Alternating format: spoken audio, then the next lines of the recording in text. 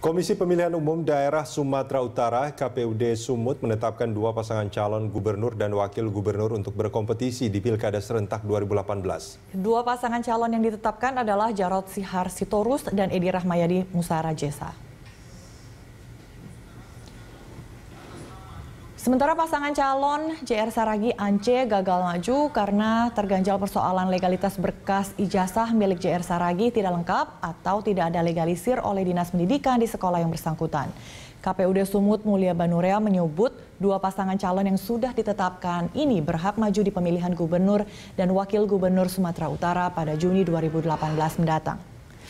Setelah penetapan ini, KPUD Sumatera Utara akan kembali menggelar pencabutan nomor pasangan calon gubernur Sumut pada tanggal 13 Februari 2018.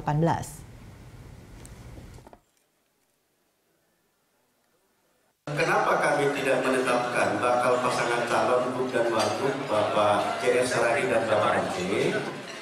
Karena ada salah satu syarat calon. Syarat calon uh, Gub dan Wagub yaitu uh, legalisasi ijazah yang tersangkut.